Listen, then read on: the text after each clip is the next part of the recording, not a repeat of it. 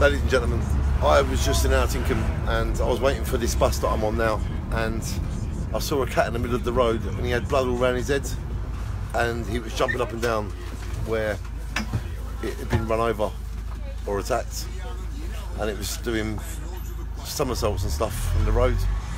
I didn't film it, but it's not nice to film. I think it's absolutely disgusting how animals are treated and how they're just left to die. Because that animal, if that was a human, there'd be a big debate and a big inquiry, and they'd be all fenced off and there'd be all police and stuff there. But for an animal, no one gives a damn, do they? Well, I give a damn, and that's why I'm making this film because I think it's disgusting how animals are treated. And I think animals should be looked after and loved and respected and treated like equals more. And I think if there's people in the world with money, maybe they should give it to me to help these animals. It's disgusting. Shine on.